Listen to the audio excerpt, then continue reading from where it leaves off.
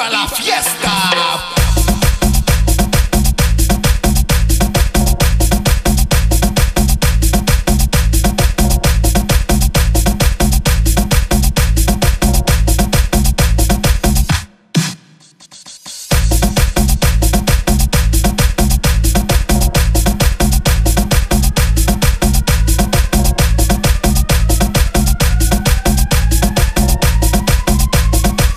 todo el mundo, Ávila.